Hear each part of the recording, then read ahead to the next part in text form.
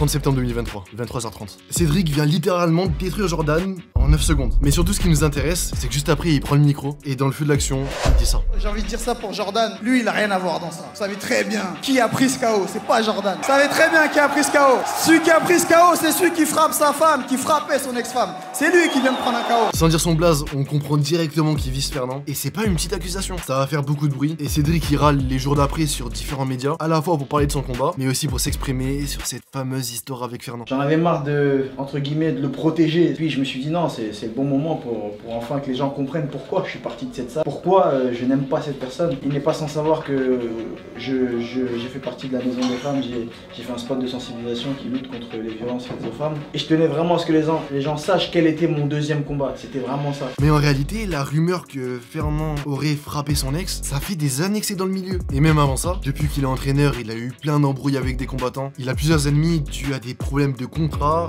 ou toute autre dinguerie. Bref, je vous explique. À la base, Fernand, il faisait du rugby en pro. Puis, dû à une blessure au cervical, il sera contraint d'arrêter. Mais c'est là où il découvrira le MMA. Bon, au total, il fera 17 combats en pro, 10 victoires, 7 défaites, dont 6 par KO. Bref, tout ça durera 4 années, mais ce qui nous intéresse, c'est qu'après, en 2013, il ouvre sa propre salle, le fameux MMA Factory. D'ailleurs, je suis passé devant hier par hasard. Rapidement, le MMA Factory devient une salle incontournable. En plus d'être un très bon entraîneur et manager, Lopez, c'est vraiment un businessman. Et à cette époque en France, si on veut atteindre l'élite du MMA mondial et même l'UFC, il faut passer par Fernand. Il est tellement au sommet que la fédération de boxe lui demande son avis avant d'envoyer des dossiers au ministère des Sports. Il prend une grosse place autour de ses combattants. C'est sûrement l'un des coachs les plus connus du MMA. C'est là qu'il y a un problème. Plusieurs combattants vont se plaindre qu'il se mettrait beaucoup en avant et qu'il aurait même une grosse emprise sur eux. Parce que lui a bien conscience que le tremplin pour l'UFC, bah, c'est lui-même. Faut pas oublier que le MMA, même s'il y a toute une équipe derrière chaque combattant, ça reste un sport assez individuel. Pourtant, t'as Lopez qui à chaque combat de gagne va gratter une interview ou des photos comme s'il voulait prouver sa contribution et montrer euh,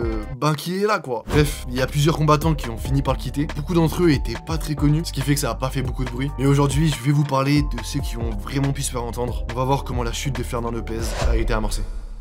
Tout commence ici. Quand Ngannou arrive en France, il a 26 ans et à cette époque, il est SDF. Il rêve de devenir boxeur professionnel et un jour, il rencontre Fernand Lopez. Il sera impressionné par la puissance d'Ngannou. À cette période, il est justement à la recherche de la tête d'affiche de la salle et voit directement un potentiel en lui dans les MMA. Alors il convainc Ngannou de combattre en échange de l'héberger dans la salle et de lui fournir tout l'équipement nécessaire. Il est bon en MMA et il grimpe vite les échelons avec Lopez à ses côtés. Il finit par rejoindre l'UFC et après une série de victoires, il décroche un combat pour le titre de poids lourd face au god de la catégorie, Stipe Miocic. Malheureusement, il perd combat et les relations entre les deux hommes se dégradent. Lopez est énormément critiqué après la défaite. Ngannou finit par quitter la salle des Fernand en l'accusant de vouloir prendre trop de place médiatiquement. Alors que de son côté, Fernand trouve ça normal que le coach doit être mis en avant. Se mélange à ça des désaccords financiers. Bref, entre les deux, ça va plus. À la fin de l'entraînement, je lui dis bon voilà les sparring qu'on a fait venir, il faut que tu les payes. Il me dit mais non, c'est toi qui dois les payer puisque euh, je t'ai donné un pourcentage et tout et donc tu, tu prends dans les sous du pourcentage, tu payes les sparring. Je, dis, mais t'as vu ça où? Je peux avoir un coach qui va être célèbre, je lui donne ce qu'il veut. Même si dans mon cas, j'avais mon coach Mathieu Nicourt qui m'a coaché et je sens qu'il va être célèbre et je lui donne la lumière, c'est le minimum vu le temps qu'il passe avec moi. Après être parti de son côté, Ngannou enchaîne les victoires. Il prendra le titre des poids lourds et le défendra d'ailleurs plus tard face au bon gamin Cyril Gann. Malgré tout ça, Fernand continuera d'être vu comme le patron du MMA français. Il réussira à propulser plusieurs combattants à l'UFC avec qui il a de bons rapports.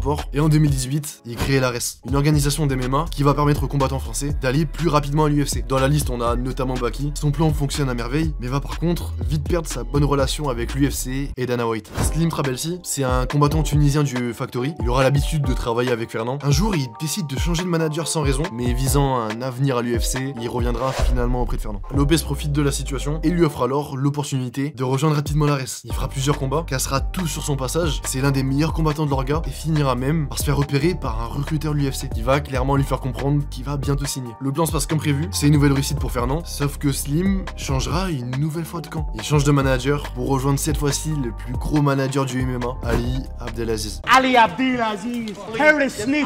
Abdelaziz, c'est le manager. Il a plusieurs combattants à l'UFC, pas n'importe qui. Khabib, Osman. Fernand a beau être une moulin en France, face à Abdelaziz, bah c'est un petit joueur. Il le sait très bien, mais il a de la fierté. Il décide de bloquer le départ de Slim à l'UFC. Alors qu'il avait déjà un combat de prévu. Il a été malin ou un peu vicieux. En fait, il a retiré dans le contrat de Slim une clause qui lui permettait d'aller à l'UFC s'il avait une proposition, même si la reste était contre. Bon, résultat, le combat est annulé et pour qu'il aille à l'UFC, Fernand lui laisse qu'une porte de sortie. Il doit racheter ses 3 ans de contrat contre une somme euh, astronomique. Sauf que Abdelaziz commence à se vénérer de fou parce que lui de son côté, il perd un gros contrat. Alors forcément, il se mêle à tout ça. L'affaire fait beaucoup de bruit et c'est pas du tout bon pour l'image de Fernand. Abdelaziz, en plus d'être une grosse moula sur le plan politique, savoir que le mec t'a fait carrément pour le FBI avant. Il est aussi très proche de Dana White parce que c'est lui qui lui ramène en partie les meilleurs combattants. Qui fait que Fernand se met directement à dos la direction de l'UFC. Autre conséquence, c'est que Slim Trabelsi n'a du coup pas combattu pendant un an. Utilise son pouvoir contre ma situation parce que j'ai pas le choix.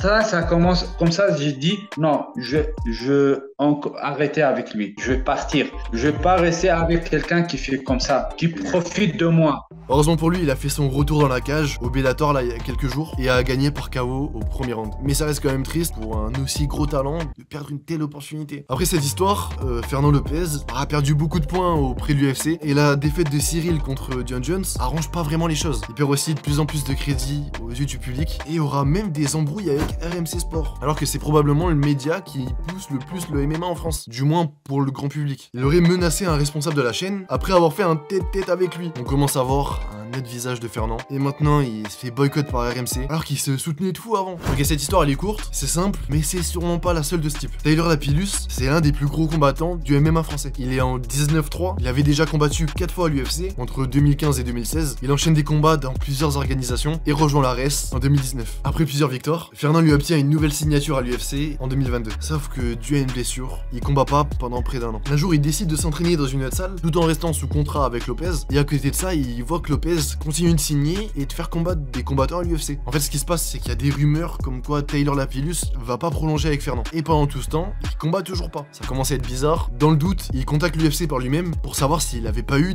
des propositions de combat. Et il apprend que Fernand avait reçu plusieurs offres de combat pour Taylor, mais les aurait toutes refusées, disant qu'il était toujours blessé. Bon, Taylor pète un câble, logique, il prolonge pas avec Fernand. Et heureusement pour lui, il finira par combattre au dernier UFC Paris et il gagnera même son combat. Encore une fois, il est indéfendable. Fernand, tout ça c'est bizarre.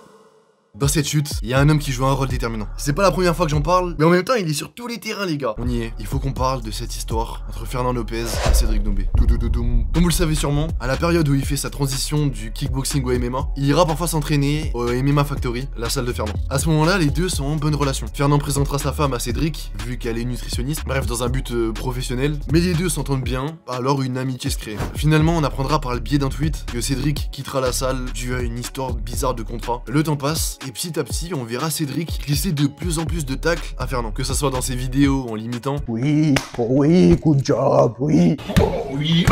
en faisant des t-shirts pour se moquer de lui. Mais moi j'ai toujours vu ça comme du marketing. Il y a rien de méchant, c'est juste drôle. Et c'était cohérent vu qu'il combattait contre Jordan, un des poulains de Lopez. En réalité, c'est que récemment qu'on apprendra que les choses sont un peu plus sombres que ça. Cédric aurait été témoin d'une agression de Fernand sur son ex. Une ex que Fernand accusait d'avoir couché avec Doumbé. Qui lui a toujours dit que c'était faux. Tu euh, comment on dit, cocu Bah alors, qu'est-ce qu'on s'en parle, you Alors il a pris 4 mois de sursis pour ses actes, mais s'est défendu récemment sur le Parisien, disant qu'il avait uniquement giflé. Ce qui a poussé son ex à prendre la parole sur Brut pour dévoiler que c'était bien plus que ça. Nous sommes en 2018, le vendredi 13 juillet.